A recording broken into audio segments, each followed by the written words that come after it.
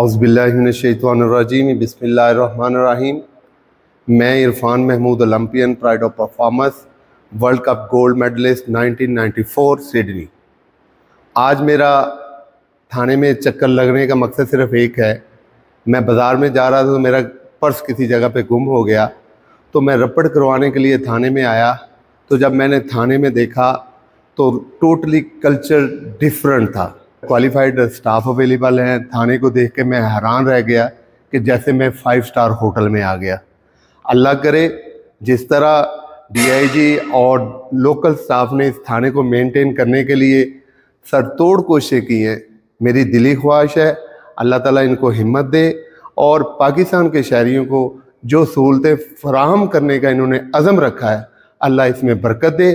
اور میں ریئلی تمام سٹاف کو اپریشیٹ کرتا ہوں کہ اتنا اچھا کلچر اتنی اچھی ڈیلنگ میں ریئلی اپریشیٹ کرتا ہوں تھانے کے تمام سٹاف کو اور اسپیشلی ڈی پی اوٹوبا اور ڈی آئی جی پنجاب کو۔ پڑھا لکھا پنجاب ہے اور میں اسپیشلی اس بات پہ کہنا چاہتا ہوں، جو تھانے میں گالی کلچر تھا، وہ میں نے بالکل ختم دیکھا۔ اور میری دعا ہے کہ اسی طرح کا کلچر پروموٹ کرے۔ تاکہ پاکستان کا نام دنیا میں روشن رہے۔ میں اسپیشلی آئی جی پنجاب اور ڈی پی اوٹوبا کا بھی شکریہ ادا کرنا چاہتا ہوں۔ انہوں نے یہ انیشیٹو لے کے اتنا تھانے کا کلچر بنایا اور گالی سسٹم کو بالکل ختم کر دیا۔ اور میری دلی دعا ہے کہ وہ اس کو مونیٹنگ کرے اور پاکستان کے شہریوں کو اچھی سہولت دینے کا جو عزم رکھا ہے، اس کو قائم دائم رہے۔ جی بسم اللہ الرحمن الرحیم۔ آج میرے پاس جو انٹرنیشنل ہاکی کے پلیئر ہیں، عرفان صاحب یہ تھانہ گوجرا تشریف لائے۔